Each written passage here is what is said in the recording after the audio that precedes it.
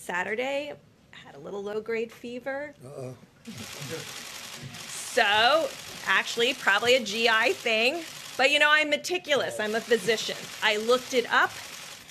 I ended up piggy bank. I'm from Walter Reed, so I got a test late Saturday night, and I'm negative. I stayed home another day just To, Thank you for saying that. yeah,